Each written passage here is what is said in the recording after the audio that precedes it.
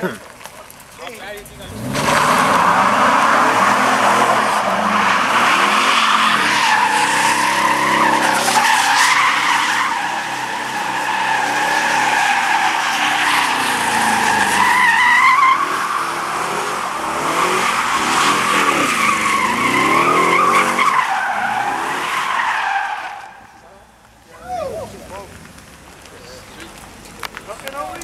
some of that Pero un poco pegajono,